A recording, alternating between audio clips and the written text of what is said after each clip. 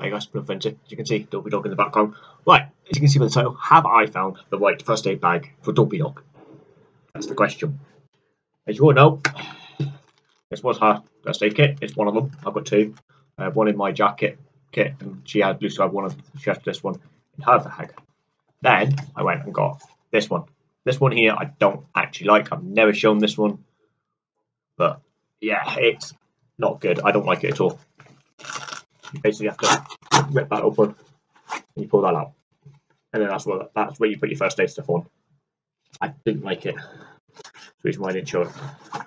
So if anybody else can recommend or send a link of how to set one of them up, one of these first aid pouches up, I would appreciate it. But as you all know, that's my first aid kit. That's the group first aid kit. And when I say great, I mean great. I won't take it on my own because that's far too big for one person. I normally I got another one like this, what's in my jacket, as you all know, and I'm big on first aid stuff. So yeah. So we won't go into that one because we've all been through that one. I'll leave a link in the corner if you want to see what's in it. So because that has not changed. Right, as I said, that was her first aid pouch. Now I've bought this, which is amazing find. It cost more money than what I was expecting to pay, but at the end of the day, it came with some first aid stuff, so won't complain as well. And that is this one.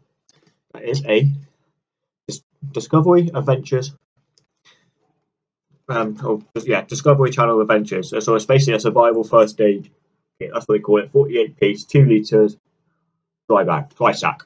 So I will be doing this in a chest later. So yeah, and as I said, this will be going in Dopey Dog's bag. It, the problem is, it is still quite bulky compared to this one.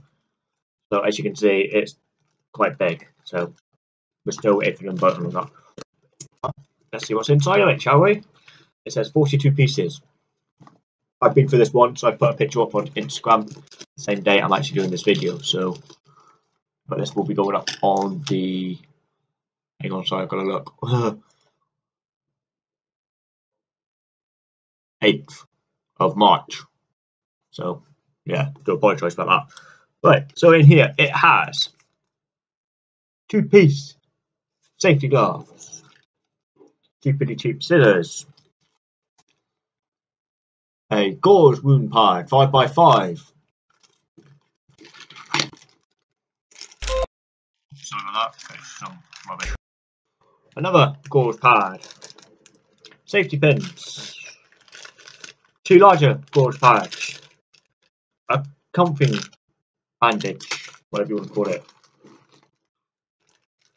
a triangular bandage. That's look a quite nice thick one, but we'll soon see when I take out. As I said, I'm not first aid. I'm not a first. I'm not medical trained, so get your medical trained yourself, guys, because I'm medical trained for myself. I am first aid trained, but I'm not a medical professional. Hey, tweezers. Don't look like they're gonna really do any job. Whistle. Yeah, looks alright.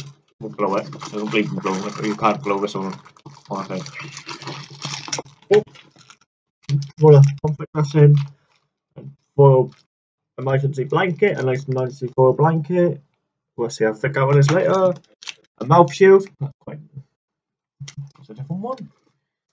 Two, um, a few more last items I thought was good was a rubber tourniquet or tourniquet, whatever tourniquet, whatever you want to call them. And then in here there is some antiseptic cleaning wipes, some plasters or band-aids that you guys call them in America and Canada, and some alcohol pads.